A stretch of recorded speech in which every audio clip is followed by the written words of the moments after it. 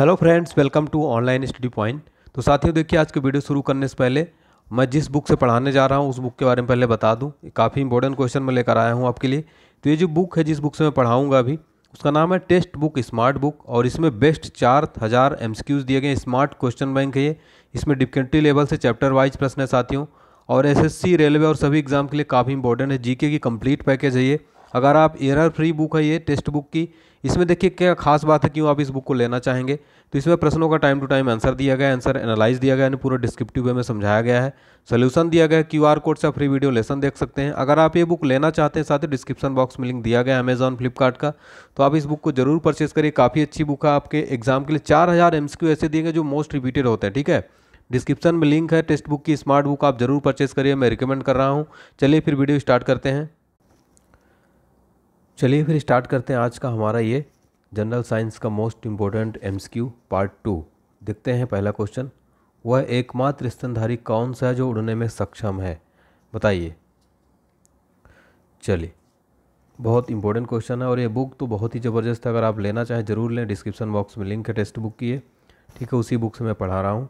सही जवाब इसका हो जाएगा चमगादड़ यहाँ पर। ठीक है? तो देखिए, आपको बता दें।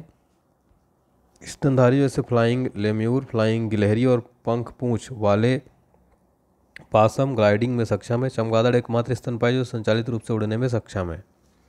देखिए हमारा क्वेश्चन नंबर चौदह है। प्राकृतिक चयन के तंत्र का वर्णन करने के तरीके के रूप में सर्वाइवल ऑफ़ द फीटेस्ट किसके द्वारा गढ़ा गया था? बताइए।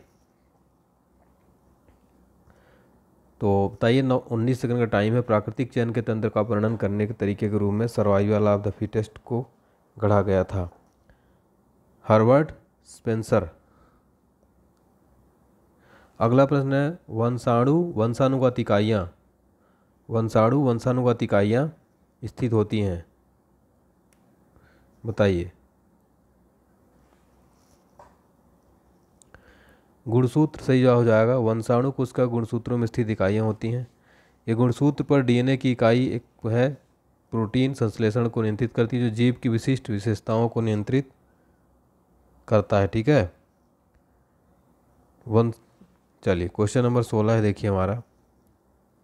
किसने प्रस्तावित किया कि प्रत्येक व्यक्ति केवल एक विशिष्ट रक्त समूह है? क्वेश्चन नंबर सोलह चलिए, सही जवाब इसका हो जाएगा लैंड स्टीनर आपको बता दें कि रक्त का संचार किसने प्रस्तावित सिद्धांत हार्वे ने और वंशानुक्रम के मौलिक नियम किसने, मेंडल ने, विकास सिद्धांत, डार्विन। ठीक है, चलिए क्वेश्चन नंबर सत्रह है। मार्स्यू पियल्स की विशिष्ट विशेषता क्या है?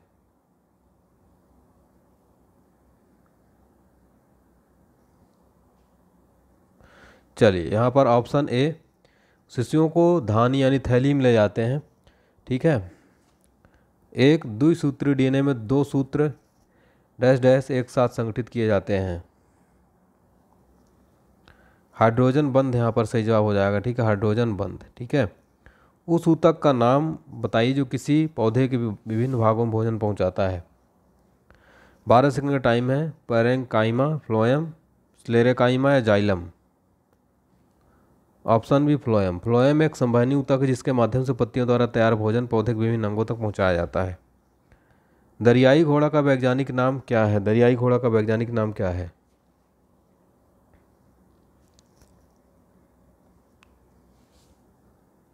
ऑप्शन सी यहाँ पर राइट आंसर होगा, ठीक है? देखिए, बाघ का जो वैज्ञानिक नाम है पैंथेरा है, चिंकारा का, गजेला, वेनेट्टी, ठीक है? पोलियो वैक्सीन की खोज किसने की थी, बताइए।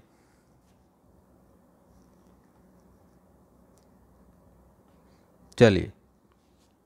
जोनास साल्क द्वारा निष्क्रिय मारे गए पोलियो वैक्सीन का विकास किया गया। पहली बार 1955 में इसका इस्तेमाल किया गया। डॉक्टर अल्बर्ट साबिन द्वारा विकसित और पहली बार उन्नीस सौ प्रयुक्त जीवित कमज़ोर मौखिक पोलियो वैक्सीन है, ठीक है? वसा को संग्रहित करने वाले संयोजित को क्या कहा जाता है? चलिए ऑप्शन बी मानव शरीर सूर्य के प्रकाश से कौन से विटामिन प्राप्त करता है? छः second option D vitamin D ठीक है? विटामिन डी सूर्य किरणों से प्राप्त होता है। जब मानव की नंगी त्वचा सूर्य के संपर्क में आती है तो सूर्य के विटामिन डी लेती है, ठीक है? परावैग्नि सूर्य के किरणों का उत्सव जो मनुष्य के लिए महत्वपूर्ण है।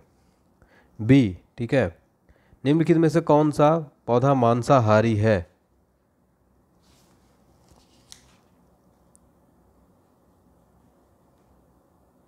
चलिए। वीनस फ्लाई ट्रैप जो है मांसाहारी पौधा है, ठीक है? वीनस फ्लाई ट्रैप एक मांसाहारी पौधा है।